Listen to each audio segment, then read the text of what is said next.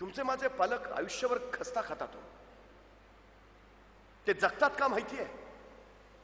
आमचं आयुष्य जगून झालंय आता. आमच्या मुलांचं फुललेलं आयुष्य आम्हाला बघायचं आहे ते फुलवायचं आहे एवढ्यासाठी जगत असतात. किती जण आपल्या आई बापांच्या डोळ्यात ते भाग्य देतात. विश्वास नांगरे पाटलांना विचारलं आपण आय पी एस झालात.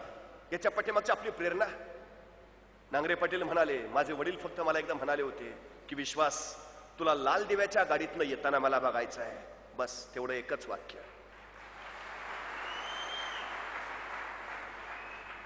मी लाल दिव्याच्या गाडीतनं आलेलं बघायचं भाग्य माझ्या वडिलांना मिळावं म्हणून झोकून देऊन केलं सगळं. बस दुसरं काही नाही. किती अडचणी येऊ द्या किती संकट येऊ द्या. बस तुम्ही शिरजोर झाला पाहिजे त्या संकटावर. अडचणींवर हे महत्वाचं आहे. एखाद्या ध्येयाचा पाठला करायचा झाला ना असा पाठला करा की हरलं पाहिजे ध्येय सातत्यानं तेच तेच डोक्यात राहिलं पाहिजे.